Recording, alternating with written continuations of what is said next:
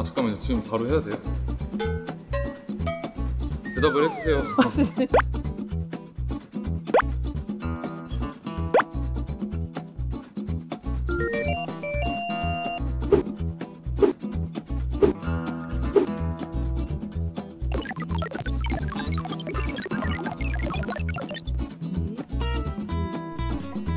어, 패기 넘치고 재미있게 촬영을 마무리할 수 있어서 고마워요.